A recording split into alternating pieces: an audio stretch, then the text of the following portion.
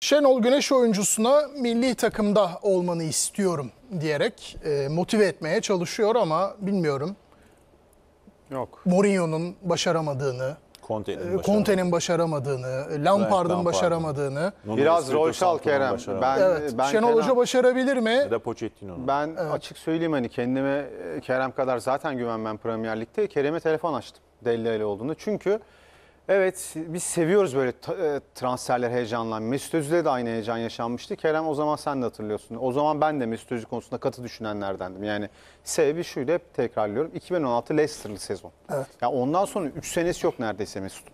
E, Bir sene kadro dışı kaldı diyoruz ama tamam Alman milli takımında siyasi sebep diyelim kesik yemesi vesaire ama uzun süredir maç temposunu Arda Turan bugün Arda Turan'ın futbolu bıraktığı yaşta Galatasaray Mertens aldı yani. Evet. Maç temposu, maç ritmi önemli. Deli Ali'de de 2 senelik o keskin düşüş ve ben hep şu soruyu soruyorum Kenan yani. Van Persie, Falcao transferleri de neden başka takımlar Fenerbahçe Galatasaray'dan başka o dönem Van Persie, Falcao istemedi? Aynı soru Deli Ali için de yani atıyorum Bournemouth isteyip istemez miydi mesela ya da West Bromwich yani. Bir tane takım yok Beşiktaş'ın bu transferde yarıştığı. Ben o yüzden, o yüzden açık söyleyeyim şaşırmadım ve e, hani işin demin biraz e, kendi çapımızda Valerian İsmail'in e, teknik tercihlerine değindik. En net hatası da e, iç sahada kazanamadığı iki büyük maça Jetson yerine Dele Alli ile başlaması. Yani bence Dele Ali fiziken çok çok e, artık hani aynı dili konuşmuyor gibi. Mental olarak da aynı değil. Ben çok kolay kolay e, yani Şenol Hoca'nın da kazanacağını düşünmüyorum. Yani bana iki ayda verdiği ışık hiç olmuyor onu söyleyeyim. Ya hoca kazanamazdan ziyade bu oyuncudan olmaz noktası Evet, belki evet. daha mantıklı. Ya- Var ben- futbolun böyle hikayeleri bu arada yani. Bu kadar erken yaşlarda çok iyi olup bir anda düşüşe gelmiş. En son Sebastian işte Deisler mesela. Deisler e, e, yine Onun ama çok O psikolojik- problemleri, psikolojik Ama bence problemleri psikolojik var. burada da problem var. kesin var. Deisler kesin çok var. iyi benzetme. Benim en son e, Galler maçında hata yaptığı için böyle bir gözüme çarptı. Joe Allen değil mi?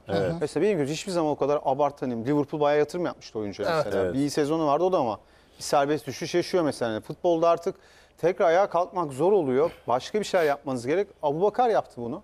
Evet, ama o bazen- da futbol stilini değiştirdi. E, bazen sakatlık oluyor. Jack Wilshere gibi işte sakatlık bir türlü hani peşini bırakmıyor. Ama burada bence psikolojik olarak ciddi sorun var. Ha ben daha önce e, iddialı konuşmuştum.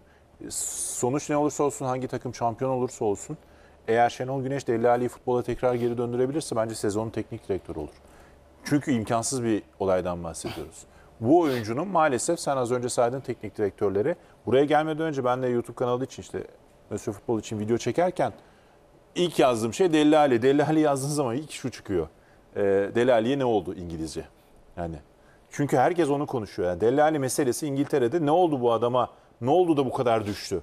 diye ve kimsenin net bir cevabı da yok. Hani bazılarına şunu söyleyebiliyorsun. Abi çok ağır bir çapraz bağ sakatlığı geçirdi. Dönemedi. Buruma.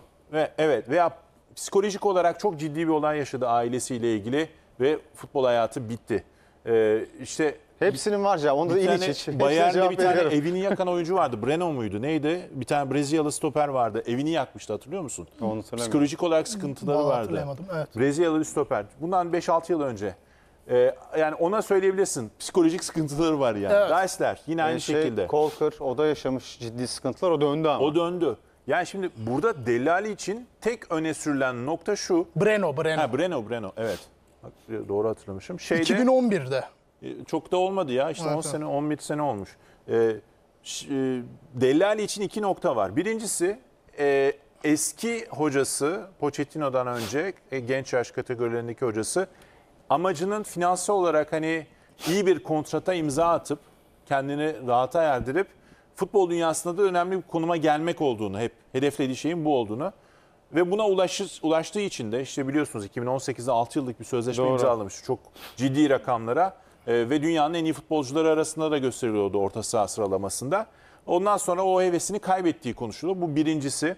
İkincisi de futbolla ilgili aslında artık e, ilerlemek istemedi. Futboldan bıktığı, tamamen e, işte bunu sadece bir iş olarak gördüğü, o yüzden de keyif almadığı söyleniyor. Başka net bir neden yok Dellali ile ilgili. Hani tamam sakatlık sorunları da yaşadı ama çok ağır sakatlık, kariyer bitirecek sakatlık sorunu yaşadığını söylemek çok mümkün mü Dellali ile ilgili? Yok. Değil. Ee, bence çok doğru bir transfer değildi. Geldiğinde Dellali'nin Beşiktaş'a ihtiyacı var. Beşiktaş'ın Dellali'ye çok ihtiyacı yok demiştim. Evet. Aynı fikirdeyim. Deli Ali'yi Premier e, Lig seviyesine çıkartmak bile iyi olur. Bak milli takım imkansız. Hani Mason Mount'un, e, Jude Bellingham'ın falan olduğu Yani milli Phil takımda... Foden'ın yedek olduğu. Ha, Phil Foden'ın yedek olduğu milli takımda Deli Ali e, ancak antrenmanda böyle çok fazla sakat varsa hani sparring partner derler ya boksta. Hani orada yumruk, yumruk yemesi için alırlar onu, o adamları. Ancak öyle bir performans sergileyebilir. Gerçekten olağanüstü bir iş olur. Yani son yılların Türk futbolundaki en olağanüstü işi Şenol Güneş'in yaptığı iş olur. Eğer Deli Ali'yi o seviyeye çıkartırsa. Mümkün mü? Ben mümkün görmüyorum. En son kupa maçı izledik işte. Serik maçı değil mi? Gol de attı.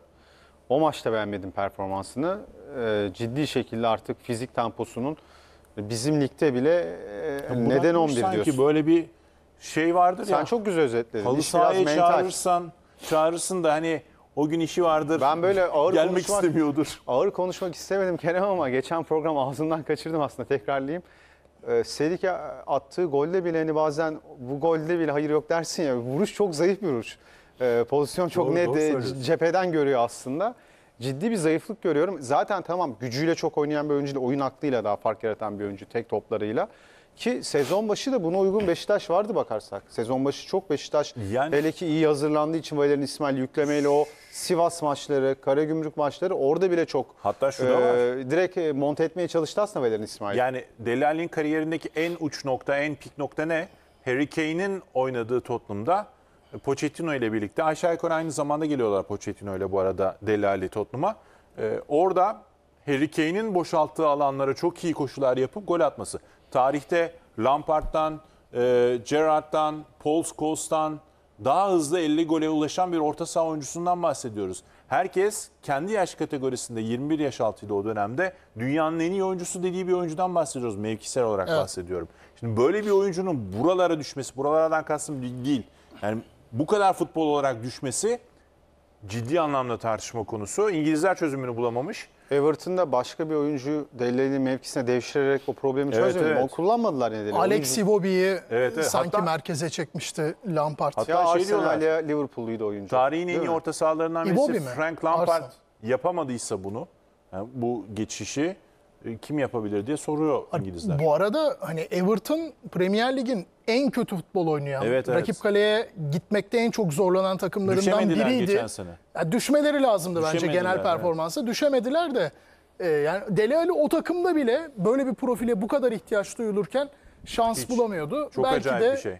e, ülkemizdeki futbol akıllarına, kulüplerde çalışan personellere, başkanlara e, nasıl transfer yapılmaması gerektiğine dair bir Ben örnek. kariyeri bitince hani bilmiyorum ne zaman biter Deli Ali'nin. Yani seneye de bitebilir. Bu konudaki çok samimi muhtemelen röportaj olacaktır. İngiltere basınına verir bu röportajı. Yani bizde Evet. o kadar o kadar samimi konuşmuyor oyuncular, yabancılar özellikle. Ee, Çok merak ediyorum kendi nedenlerini. Hani bir oyuncu anlatır sonuçta kendi yaşadıklarını İşte biz Snyder bilmiyoruz. anlattı neden o kariyer 84 doğumluydu. 2007'de Galatasaray'dan gönderildi. Bir sene oynayabildi. Yani yarım sene Nice, yarım sene Katar. Evet. Yani düşün. O da ne? Çünkü bakmadı kendisine. Evet. Böyle bir Evet. gerçek var. İnanılmaz kilo almış. Yani benden beter olmuş yani. Bende boy var bir de. Onu düşün yani. Doğru. Ha, çok büyük yetenek. Evet tabii canım. Yani, Yani, onu şöyle hiç sağ- kıyaslamayalım sağ, zaten. sol. Yani sağ sol 18'in dışından iki Tarihin en iyi ayakla. on numaralarından bir Tabii, tabii. tanesi. Yani hiç Ve yani tartışmasız. benim gözümde en son e, FIFA, Oyun ödülü, kurucu FIFA değil mi? ödülü. Yani alamadı 2010'da altın topu ama yani Alması. Robben atacaktı o golü ne yapsın yani Evet. adam. Milito attı, Inter oldu Şampiyonlar Ligi şampiyonu. Robben Ama- atamadı, Hollanda olamadı. Orada alması gerekirdi. Ama Messi'ye verdiler orada Hep da. Messi Ronaldo arasında zaten oradan sonra iş başladı. O denklemi kim bozdu ilk? Modric mi? Modric. Modric bozdu. Modric bozdu ama zaten ondan sonra da ikisi de hem Ronaldo hem Messi de biraz Artık şey bozulmaya de, başladı. bence şey de rahatladı. Hani komite de rahatladı. Hani birine verdik seneye birine vermemiz gerekiyor. Hani biraz dengeleyelim düşüncesinden biraz